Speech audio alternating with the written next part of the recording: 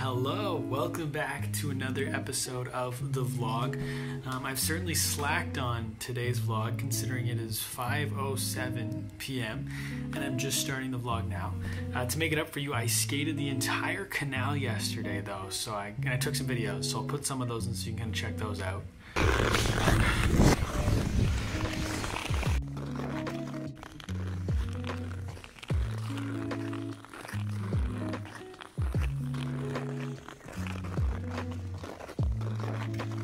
Back to back years skating the full canal. I think that's gonna be my new annual tradition. I'm exhausted. So fun though. Want to see something a little, a little bit nasty? So this 15, this this skate is not like a leisurely skate. It's like a 15.6 kilometer. I try to go as fast as I can. So this is the front of my shirt. And that's the back of my shirt. a little bit nasty, but I think that's signs of a of a solid workout. Okay, I don't know if you could actually tell the difference in that last clip, so I'll show you. Like right here, like there was a definite like differences. um, other than that, uh, today was a today was Tuesday, so yesterday was a, was a holiday. It was Family Day here in Ottawa or Ontario. So I kind of I worked a little bit, but a pretty light day. Pretty light day again today. Honestly, I was feeling pretty tired. I even took a nap in the middle of the afternoon. It was just one of those days. Um, but I wanted to make sure I, I was sharp because tonight is my podcast with Tom Dreesen. And if you watch, I think it was my last vlog. Um, I booked the podcast with Tom, and Tom is a famous comedian. Um, he's been on the Tonight Show 61 times. 50 of those times with Johnny Carson uh, back in the 70s and 80s. Um, he toured with Frank Sinatra for 13, 14 years. He's also he's kind of like the, was one of the lead, part of the leadership of the Comedians for Compensation in the mid 70s, mid late 70s that helped comedians around the world today uh, get paid for doing their gigs. Um, best friends with Dave Letterman, very accomplished, very well connected comedian. Um, and yeah, so I reached out to him through a form on his website, and he got back to me saying he was going to come on the podcast. And so that's tonight. Uh, he just had a new book, so it's kind of part of his book tour. Um, so I got to make sure I plug his book a lot in the podcast, but I'm stoked. I'm stoked. So that is at 8 p.m., so 5 p.m. Pacific Standard Time. He's in California, so a bit of a later podcast tonight. But that's that's what we got on deck for the rest of the day today. Other than that, today's also Pancake Tuesday, so Holly and I are gonna go make some pancakes, and then I'm just gonna get ready for this podcast.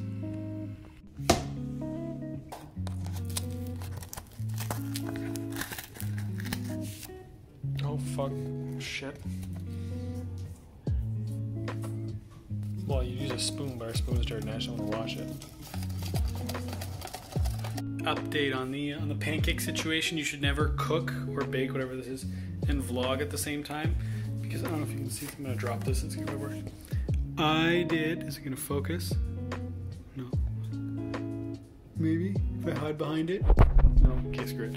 I did one and a quarter cup of milk and one cup of batter, which is the opposite. It's reversed. So we have some runny pancakes. Um, so moral of the story: don't vlog and cook at the same time. Doesn't end very well. All right, I forgot to vlog anything with the pancakes. They actually turned out not that bad.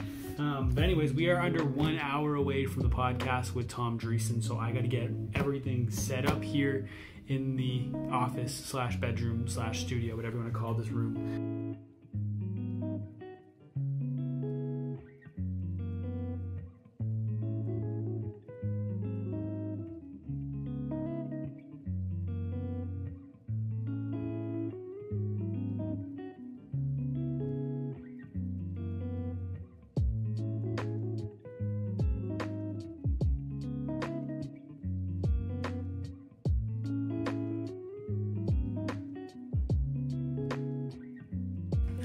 Tom should be on the call any minute here. Um, really looking forward to to this interview. Um, a little nervous, and not for the interview itself, but for my time management because this is the most notes I've had for a podcast by far. I had one last week that had 10 pages, and that was my most. I've far surpassed that. This podcast, I have 17 pages and 7,300 words worth of notes. So uh, maybe we'll be able to get him for a, a second follow up interview. Um, but figuring out how to manage this on the podcast is going to be a little bit of a challenge for me, um, but still super excited. He'll be on any minute now. Um, yeah, I'll will check in with you after the podcast. I'll probably put some clips in here as well from the interview, but I'll check in with so you. So, despite after. speaking in front of people being the number one ranked fear, you made it your life's mission to do that all the time. And I'm curious what kept you going when you moved to LA, you're staying at a friend's house, you end up getting tossed out of the friend's house because of a jealous boyfriend, you're sleeping in a car for, I believe, 30 days, you're eating on a dollar a day. I believe it was um, corn and cluck for under a buck. What's keeping you going at that point? You know, you have a wife and kids back home, you're sleeping in a car, you're trying to get on at the comedy store, you can't day after day. Why do you keep going? This might be the best interview I've ever done because you actually read the book you know, this is a fantastic interview because you actually read the book. And I have hosted shows in my career, and whenever I had to, an author, I always read the book. If I stayed up till five in the morning and had to do a morning show, because I felt it wouldn't be fair if I didn't read it. But thank you very much. And you called and pretended to be your own agent to get that show, right? Yeah, absolutely. uh, you really did. I, I, can't get over it. I'm curious about that time. Everyone was moving, like we talked about. All these comedians were migrating to Los Angeles to work at the comedy store to try and get on the Tonight Show and so on and so forth. So I'm curious about a couple comedians in particular. I want to start with Dave. And from my understanding, you met Dave in the parking lot after he stole your your material and you beat the shit out of him, right? uh, you know the story. uh, you know what's so funny about that? I don't know whatever happened to Billy Crystal, but I'm on Jacob's show right now. Eat your heart out, Billy. Just wrapped up recording with Tom Dreesen, and wow, that was so, so much fun, so good. Ultimately i kind of i realized as we were going like he's very good at telling stories and they're sometimes long answers. So i i knew pretty quickly that we weren't going to be able to get through everything. So i made the decision that i was only going to focus on the first 10 pages. And where the 10 pages ends is when we start on the frank sinatra stories. And so the reason i decided to do that is i was like i'm going to position it like i'm going to get him to tell his best frank sinatra story. And then if people want to hear the rest of the sinatra stories which are amazing like I had pages on Frank Sinatra that we didn't get to. Um, but if people want to hear more about Frank Sinatra and Tom's stories, they could buy his book. And so that's how I ended up doing it. So we didn't talk a ton about Frank Sinatra, but we got a ton of other stories. I got a story from Tom on Freddie Prinze Senior, not Junior, on Freddie Prinze. That is, I listened to probably 50 Tom Dreesen interviews prepping for this from all years 1980, 90, 20, 2000s, 2010 like a bunch from this year as well because he's doing a bunch because of his new book. And he told me a story about Freddie Prinze that I have never heard that is insane. Like it was the moment like I might even post it to YouTube as a solo clip, which I never do, is just an incredible, incredible story about Freddie Prinze, which if you know Freddie Prinze and his story became went on the Tonight Show overnight, became a superstar sitcom, couldn't go anywhere without being mom. Like he was massive. Three years later, ended up committing suicide. And he tells a story. Just I don't want to give it. Maybe I'll play the clip right here. Freddie, when he came to Chicago, you know, and stayed at my apartment. That night, I took him back downtown. He was opening at the Playboy Club for Jonah Jones, um, and, and, and he, he we went to this little bar. He had a night off. We went to this little bar, and we were watching a trio play and and I was watching the bar, and we were kids. I was I was older than Freddie, but we were we were still new in the business. And he was watching the band. And he looked at me. He said to me, while he's looking at the band, he said, "I'm going to become a big star one day." And I'm looking at the band. I said, "Yeah, yeah." We all talk like that in those days. He said, "Then I'm going to go out fast, man."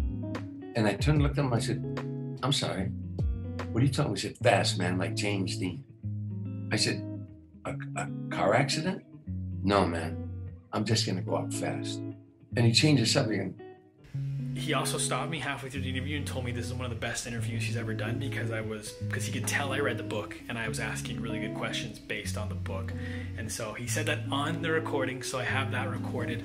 I will probably turn that into a quote graphic and post it on on my Instagram. Um, but I definitely went, went a little bit long, about eight minutes long, but we started eight minutes late because we were just chatting. Um, but yeah, about eight minutes long.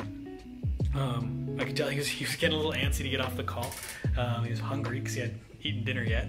Um, so I appreciate him for doing that. But after the podcast, he uh, he told me, and I'm recording this now basically so I can remember this moment for for the rest of time because I, it was after I stopped recording.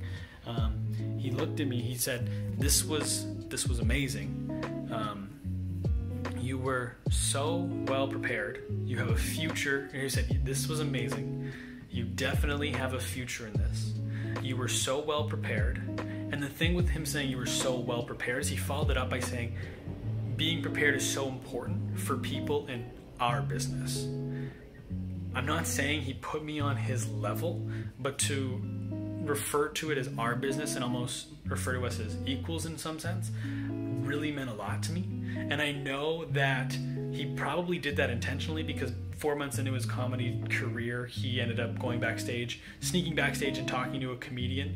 Um, that was successful. His name was Mort Sahl, and he talked to Mort Sahl backstage, and Mort Sahl did the same thing. He said things like us comedians are people in our business. So he essentially did what Mort Sahl did for him to me. But referring to it as our business really meant a lot to me.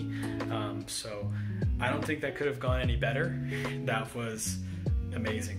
Um, so excited to share that with everyone. It'll be coming out in about a, just over a month's time. But man, I am just, as you can tell, I'm stoked right now. But man, saying is one of the best interviews he's ever done. And he's done over 500 national TV spots, 61 on The Tonight Show, tons of, probably thousands of interviews at this. And he said this is one of the best ones he's ever done. So, and then to refer to it as our business, I'm just, that was amazing. I'm so, so happy.